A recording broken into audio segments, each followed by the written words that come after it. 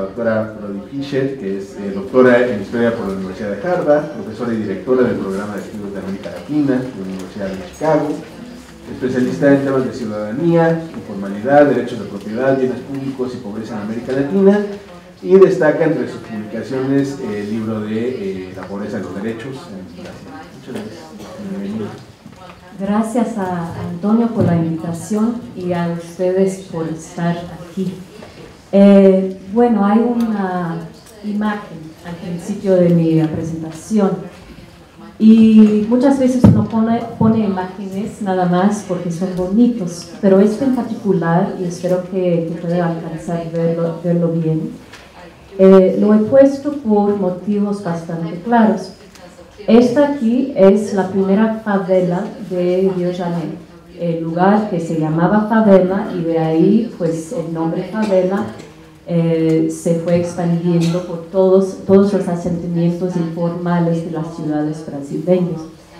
Y me gusta esta foto porque uno puede ver el mojo de la favela eh, enfrente y uno ve precisamente pensando en, en Nick Bromley y sus palabras de hoy por la mañana, la precariedad de la favela, ¿no? O sea, literalmente está al punto de caerse en el, bueno, el buraco que está al lado. Pero después de esta precariedad, uno puede ver la ciudad formal de 1920, ¿no? Y uno ve las calles, uno, ve los edificios, eran edificios muchas veces eh, una, que eran una fuente de mucho orgullo de, de los cariocas, los que vivían en Río Janeiro y ahí básicamente combinamos la ciudad formal, la ciudad informal y la precariedad. Y lo que voy a tratar de hacer en, el tiempo breve que, tengo hoy es poner eh, esta precariedad, esta informalidad y esta formalidad en conversación con el concepto del derecho a la ciudad y en conversación con lo que estoy llamando aquí el problema de la propiedad. Bueno, eh, ¿qué es el derecho a la ciudad? Eh, muchos de ustedes probablemente lo saben mejor que yo, pero como Antonio me dijo que iba, a ser un, público no necesariamente de académicos, quería detenerme un poco en la explicación del concepto. Eh, el derecho a la ciudad es hecho, desde mi punto de vista, de por lo menos tres hilos o tres corrientes. El primer hilo es el de la filosofía política, una crítica moral al capitalismo tardío que voy a explicar más en un momento. El segundo hilo consiste en el derecho a la ciudad como una ocupación un movimiento social difuso que reclama con sus acciones el derecho de ocupar y habitar el espacio urbano. Y el tercer hilo es un movimiento social y político bien articulado que busca la incorporación legal de la ciudad informal y la reglamentación de la filosofía política. Tres hilos. Bueno. Eh, voy a empezar entonces con el primer corriente. El derecho a la ciudad en la imaginación política del sueño de 1968 a Occupy Eh, bueno, eh, como muchos de ustedes sabrán, la frase derecho a la ciudad se asocia sobre todo con Henri Lefebvre, eh, hay un horror en mi francés ahí, eh, eh, que, los que hablan francés van a ver, pido disculpas. pero él escribió tres, bueno, muchos libros, pero tres que son particularmente importantes para el concepto del derecho a la ciudad. Le droit à la ville, la révolution urbaine y du contrat, contrat de citoyenneté. francés. Eh, este, y estos tres libros son básicamente la expresión máxima de una idea bastante abstracta, pero que eh, tiene varios puntos esenciales.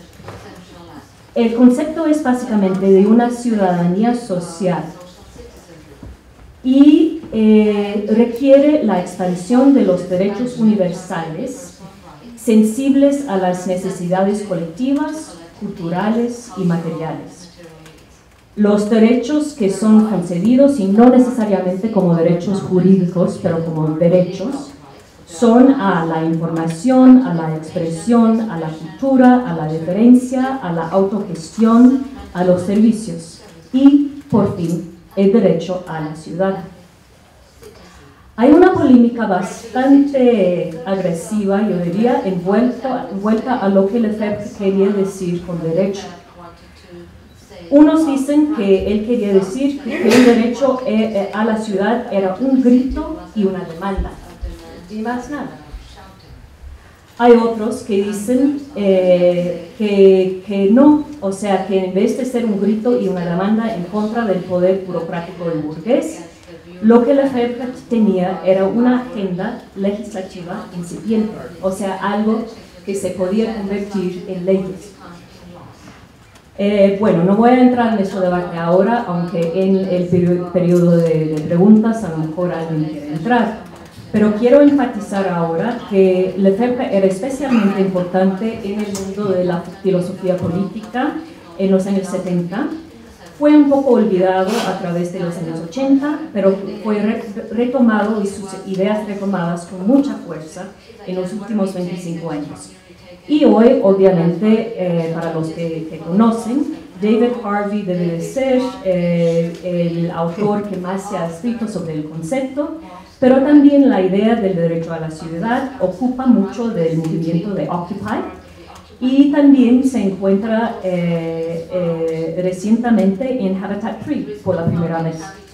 Eh, en las palabras de David Harvey, que como dije es el más conocido, tengo varias frases aquí, uno podría buscar en el internet y encontrar mil más, porque él es un tipo de meme internacional. Uh, pero the freedom to make and remake our cities and ourselves is, I want to argue, one of the most precious yes, yet most neglected of our human rights.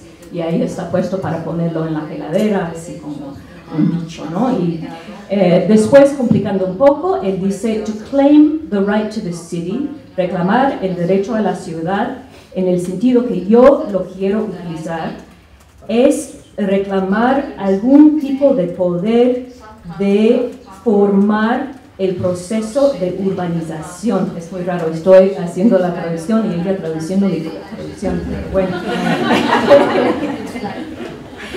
es un control eh, sobre las maneras en que nuestras ciudades son hechas y rehechas y ejercer este control en una manera fundamental y radical.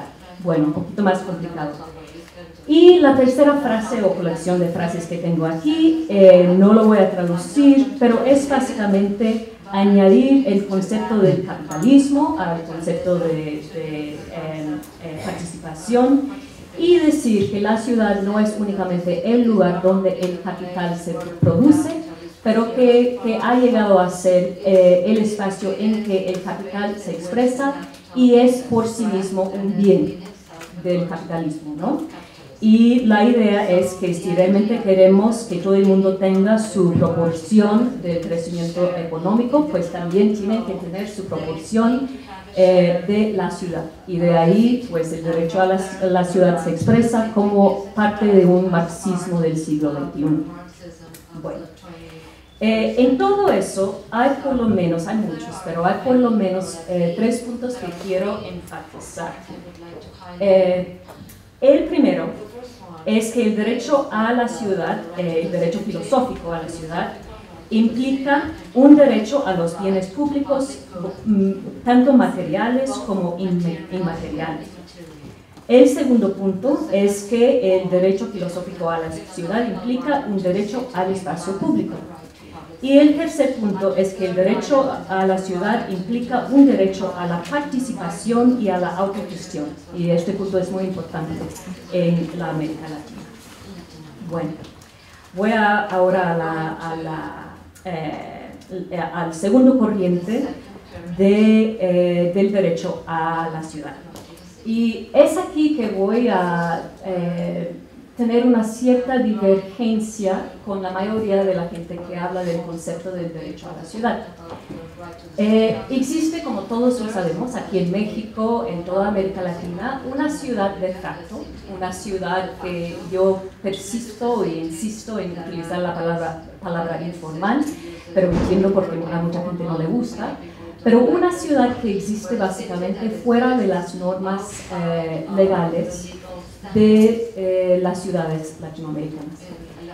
En el derecho a la ciudad, eh, el derecho filosófico a la ciudad, la informalidad y esta ciudad informal que existe en toda ciudad en América Latina, existe básicamente como un símbolo de resistencia.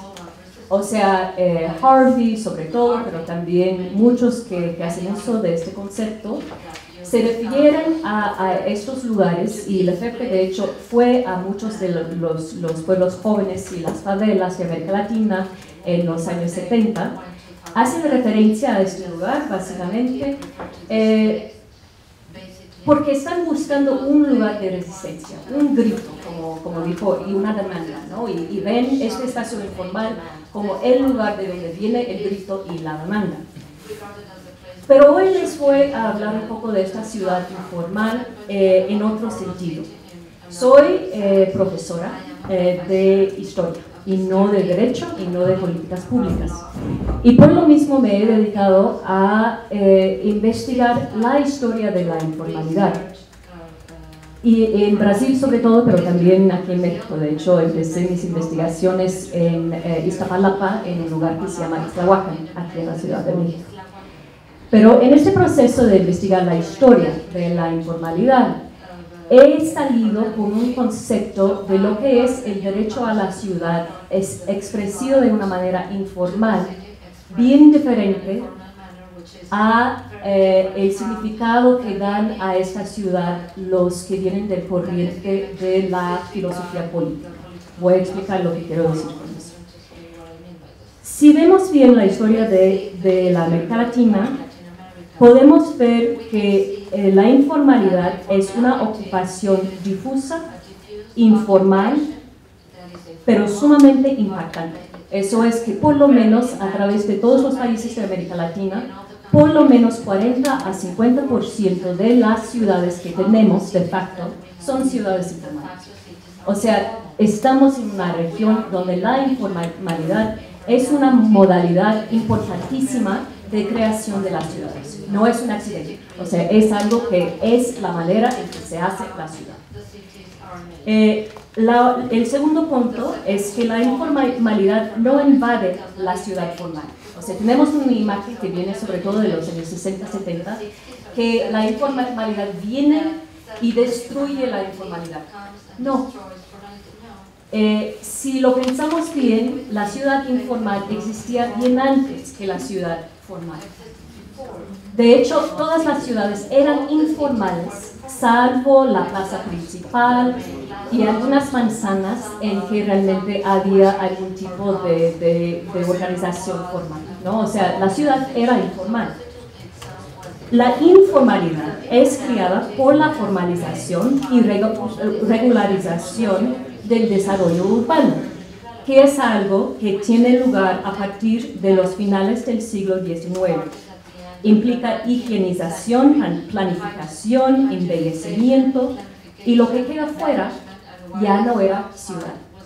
O sea, la informalidad, la anticiudad fue inventada por la ciudad formal, no es al revés. ¿no? Y el último punto, aquí es que eh, esta tendencia de creación de eh, la informalidad coincide con una época de crecientes demandas eh, para la profundización de la ciudadanía democrática y la expansión del poder público y liberal, las cuales, y este es el punto importante, representaban un desafío al ejercicio privado del poder. O sea, muchas veces queremos pensar en, en la formalización de la ciudad como un ataque de los poderosos en contra de los pobres, los marginados, etc. Y claramente lo era pero al mismo tiempo era un ataque, la formalización era un ataque al poder de las personas privadas, privadas de ejercer un cierto tipo de poder privado en las ciudades, ¿no? O sea, implicaba un poder público y la invasión del poder público en los espacios urbanos. Y es muy importante pensar en la ciudad informal como algo que surgió precisamente en el momento en que había esta amenaza al poder privado, que era una modalidad de, poder muy importante tanto aquí en México como en el resto de América Latina. Bueno. Eh, no tengo mucho tiempo para explicar lo que pasó después de, la, de los orígenes de la informalidad, pero básicamente podemos hablar de cuatro etapas de movimiento social, y no son movimientos sociales, es movimiento social, o sea, el hecho de cambiar el mundo social, ¿no? Eh, cuatro etapas eh, que son continuas y coincidentes, o sea, hay unas fechas ahí, pero no acaban con las fechas. Cada uno es un nivel que va a seguir en la siguiente etapa. Bueno, la primera etapa, la ciudad se ocupa, la ley urbana inventa la informalidad, ocupación, resistencia al desalojamiento, un movimiento masivo, pero espontáneo y poco articulado. Tengo aquí algunas fotos eh, de aquí, de la Ciudad de México, que ilustran esta etapa. ¿no? Esta en particular es, de 1971, pero obviamente es un proceso que empezó bien antes, en el siglo XIX, ¿no? y este aquí es el Pedregal de Santo Domingo, eh, que es aquí bien cerquita, de hecho. Eh, y eh, bueno, la segunda etapa, amenazas, luchas, redes. La informalidad como término medio movimientos más articulados eh, empiezan a surgir. Eh, la Iglesia Católica, los partidos comunistas y los partidos y políticos populistas entran en el juego. En esta etapa seguimos con la ocupación, la invasión eh, independiente y difuso, pero también tenemos muchos, muchas tentativas de organizar la energía política que todo el mundo pensaba que existía en estos lugares y también de crear movimientos sociales de más impacto general en las políticas de los varios países de América Latina. Hubo entonces una tercera etapa eh, que empezó realmente en los años 50-60, en que eh, los comunistas, los católicos y una nueva izquierda urbana empieza a pensar en estos movimientos sociales urbanos como siendo eh, el centro de su activismo político. O sea, antes, sobre todo para el Partido Comunista, había una involucración muy importante en lo, el activismo de base en las comunidades, pero no es algo que, que puedes encontrar en sus discursos, en sus plataformas. Era algo que estaba medio al lado de los objetivos principales de los partidos, ¿no? Y lo mismo en parte con la iglesia, era, una parte asistencialista de su trabajo con los pobres, pero ya para los años 60, 60 70 llega a ser como eh, uno de los movimientos para la justicia social y eh, teología de la liberación más importantes. Y también para los populistas, para los políticos urbanos, con eh, la emergencia de una votación masiva en las ciudades, pues también, o sea, empoderarse de la energía política de estos asentamientos llegó a ser algo bien importante, ¿no? Entonces, en los años 60 hasta los años 80, fue que realmente estos movimientos sociales llegaron a ser más articulados, más organizados y más públicos.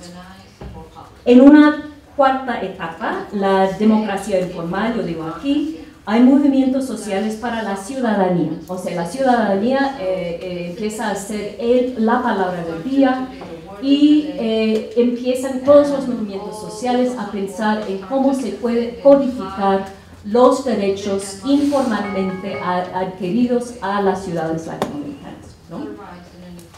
Bueno, siguiendo, hay mucho que decir y poco tiempo, así que voy bastante rápido. aquí nada más les voy a mostrar eh, esta obviamente es aquí en la Ciudad de México, Iztapalapa, eh, y es nada más para dar una imagen a todos del cambio entre esta ciudad.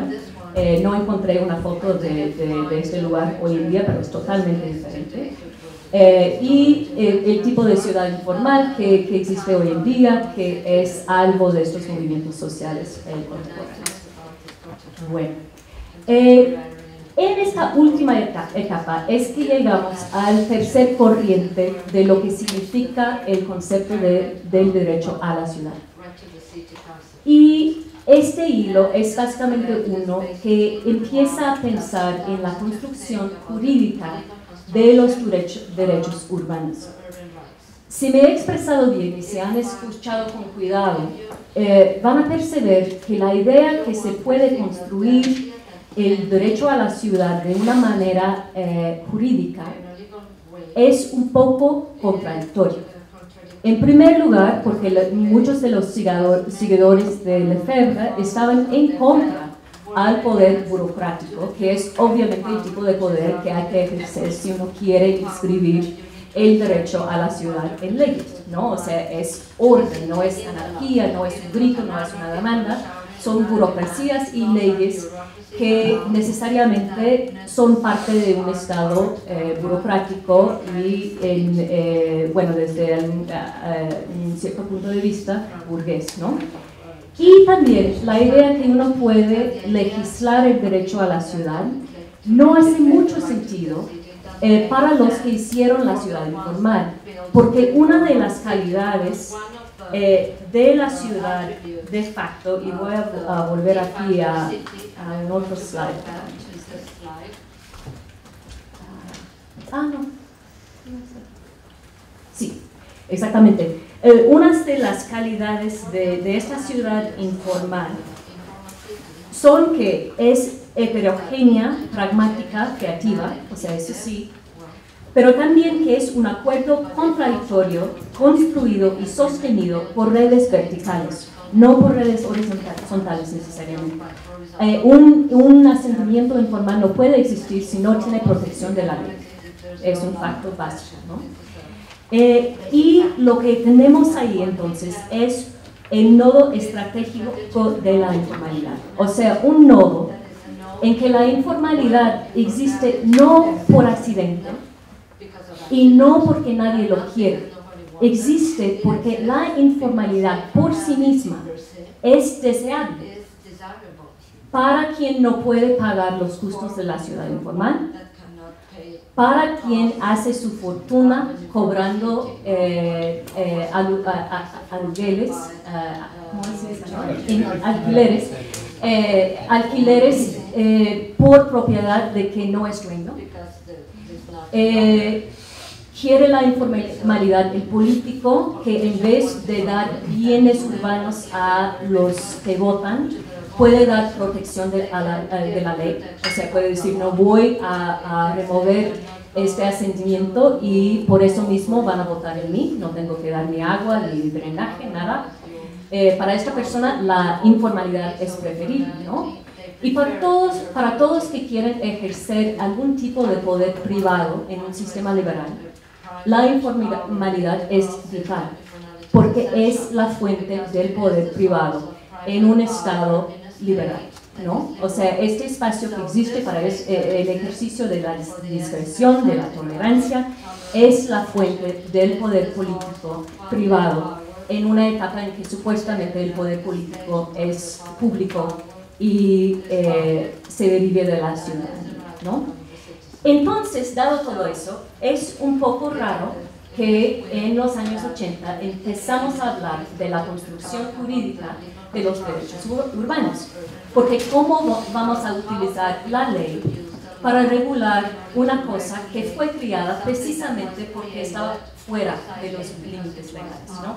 O sea, ¿cómo podemos reconciliar esas ideas que son más o menos difíciles de, eh, reconciliar?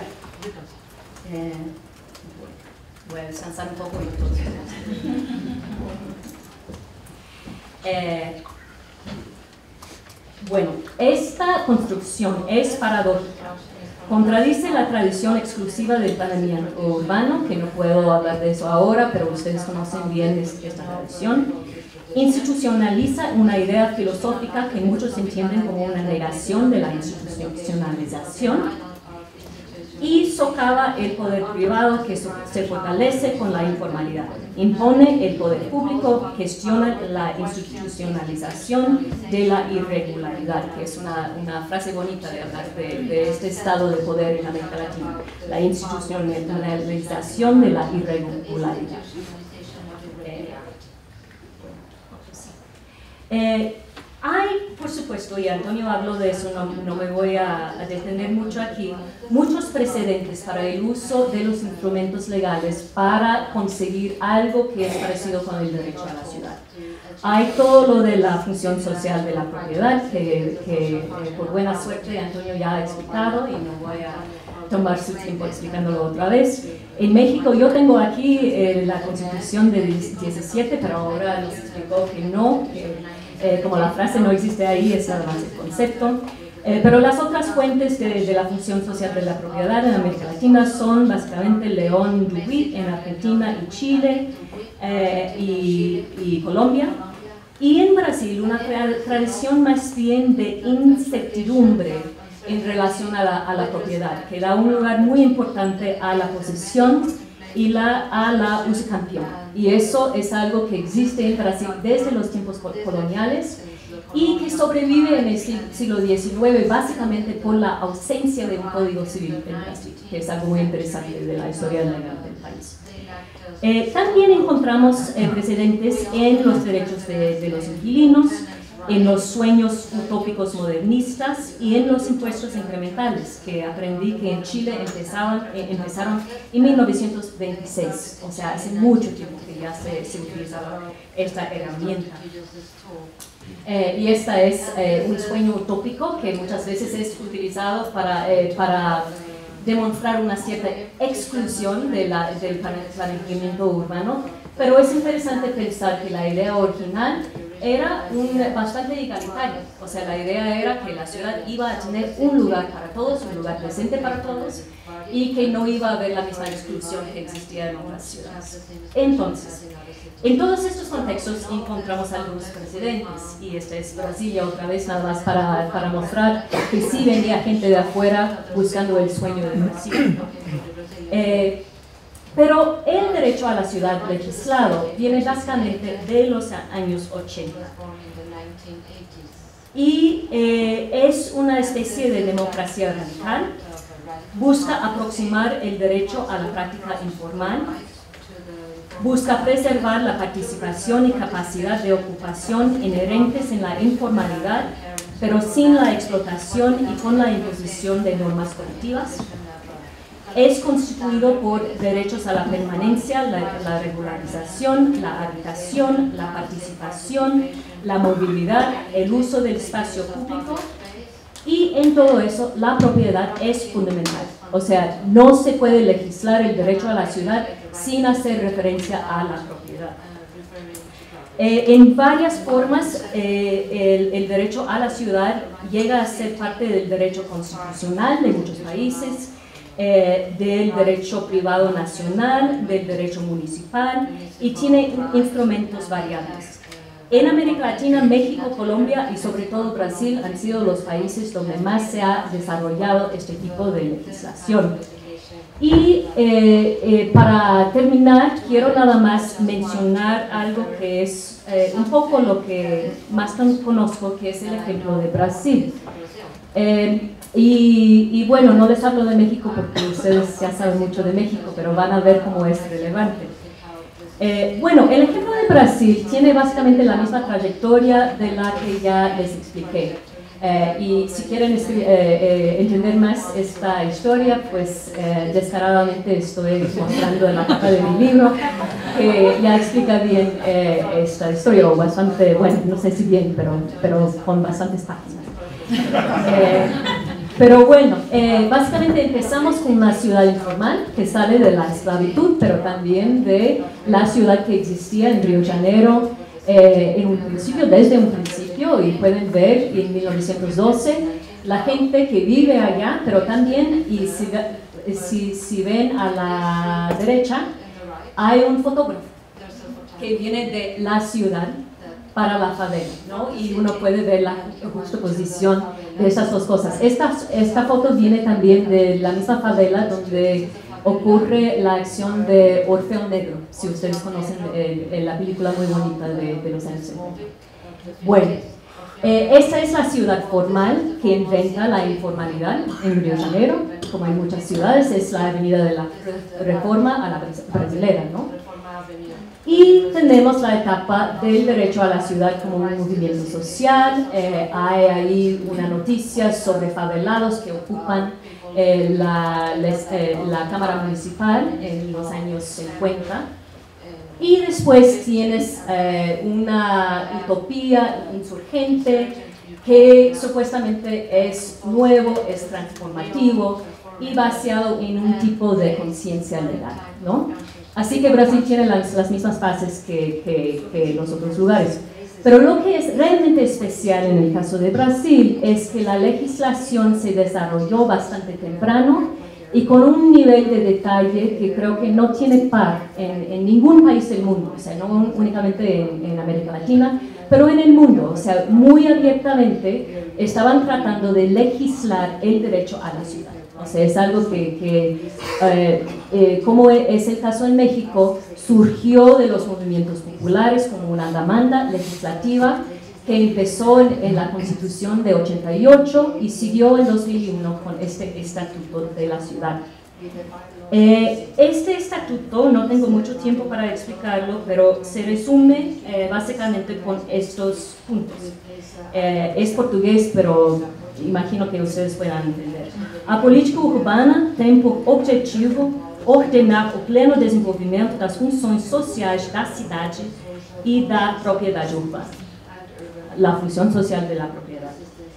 Eh, sus metas são sostenibilidade, gestão democrática, eh, planeamiento, servicios, distribución equitativa de beneficios y ones eh, derivados del proceso de urbanización, regularización y recuperación de las inversiones públicas. O sea, los mismos elementos que Antonio acaba de explicar eh, para el caso de México. Incorpora participación, igualdad de acceso, producción colectiva del bien que es la ciudad. Y tengo aquí una lista que no voy a poder eh, explicar en detalle, pero una de, las cosas que, surgió del Estatuto de la Ciudad es una profusión de instrumentos legales, o sea, exactamente del tipo que Antonio está proponiendo en esta mesa, eh, muy, muy, muy innovadores. O sea, eh, esta lista, no tengo tiempo, pero es, este, eh, son impuestos progresivos, es zoneamiento ambiental, eh, son zoneamientos sociales que reservan en la ciudad áreas para gente que, de bajos ingresos.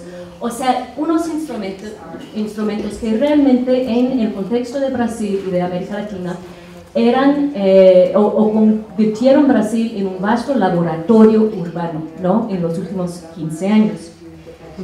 Eh, no puedo explicar la confusión y en cierto sentido el fracaso que ha sido esta experiencia, pero quería resumir nada más para ponerlo en la mesa algunos de los éxitos y algunos de los fracasos.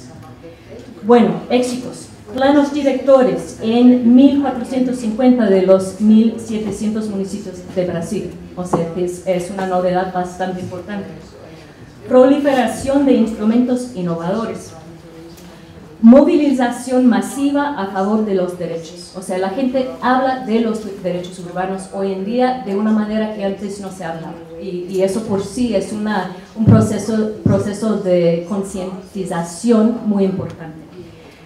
Pero en este contexto también hay muchos problemas.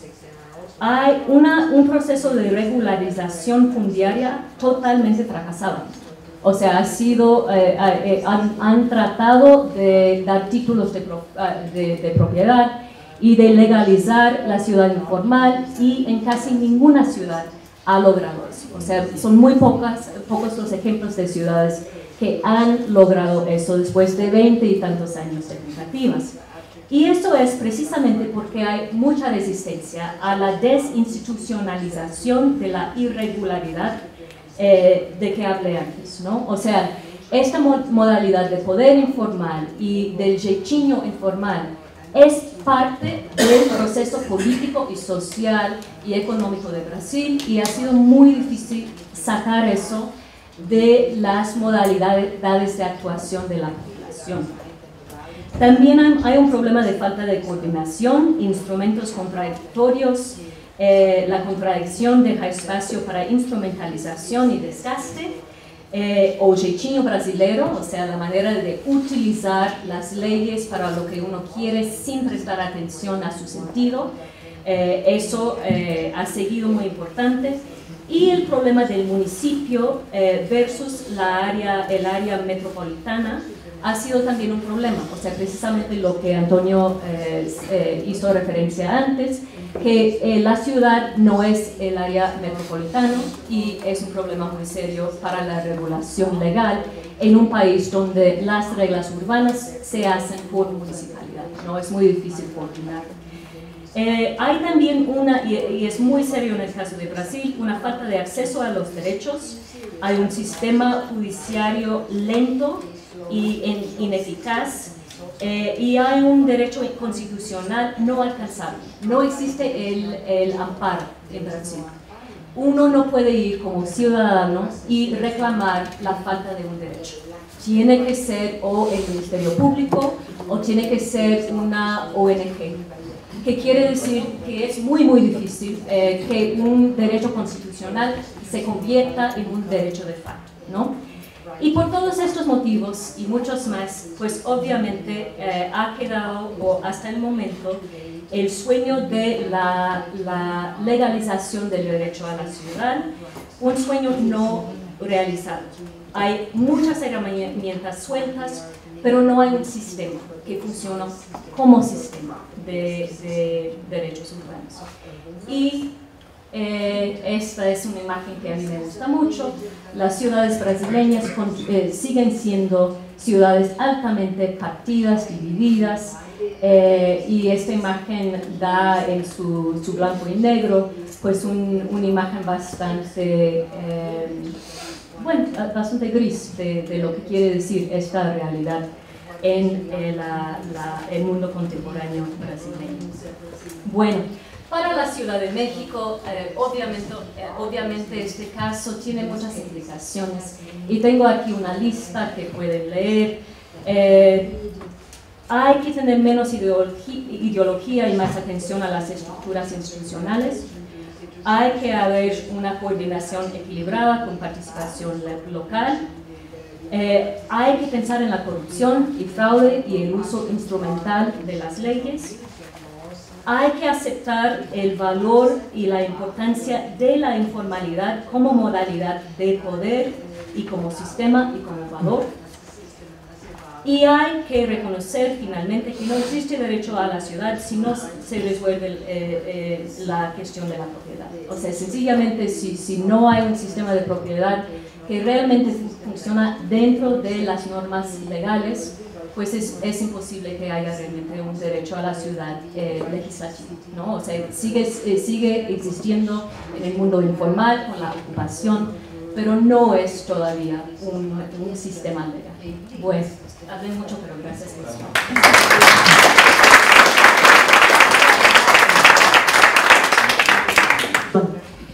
Y muchas veces uno pone, pone imágenes nada más porque son bonitos, pero este en particular, y espero que, que pueda alcanzar verlo, verlo bien, eh, lo he puesto por motivos bastante claros. Esta aquí es la primera favela de Rio Janeiro, el lugar que se llamaba favela y de ahí pues el nombre favela eh, se fue expandiendo por todos, todos los asentamientos informales de las ciudades brasileñas. Y me gusta esta foto porque uno puede ver el mojo de la favela eh, enfrente y uno ve precisamente pensando en, en, Nick Bromley y sus palabras de hoy por la mañana, la precariedad de la favela, ¿no? O sea, literalmente está al punto de caerse en el, el, bueno, el buraco que está al lado. Pero después de esta precariedad, uno puede ver la ciudad formal. de 1920, ¿no? Y uno ve las calles, uno, uno ve los edificios, eran edificios muchas veces eh, una, que eran una fuente de mucho orgullo de, de los cariocas, los que vivían en Río Janeiro. Y ahí básicamente combinamos la ciudad formal, la ciudad informal y la precariedad. Y lo que voy a tratar de hacer en, el tiempo breve que, tengo hoy es poner eh, esta precariedad, esta informalidad y esta formalidad en conversación con el concepto del derecho a la ciudad y en conversación con lo que estoy llamando aquí el problema de la propiedad. Bueno, eh, ¿qué es el derecho a la ciudad? Eh, muchos de ustedes probablemente lo saben mejor que yo, pero como Antonio me dijo que iba, a ser un, público no necesariamente de académicos, quería detenerme un poco en la explicación del concepto. Eh, el derecho a la ciudad es hecho, desde mi punto de vista, de por lo menos tres hilos o tres corrientes. El primer hilo es el de la filosofía política, una crítica moral al capitalismo tardío que voy a explicar más en un momento. El segundo hilo consiste en el derecho a la ciudad como una ocupación un movimiento social difuso que reclama con sus acciones el derecho de ocupar y habitar el espacio urbano. Y el tercer hilo es un movimiento social y político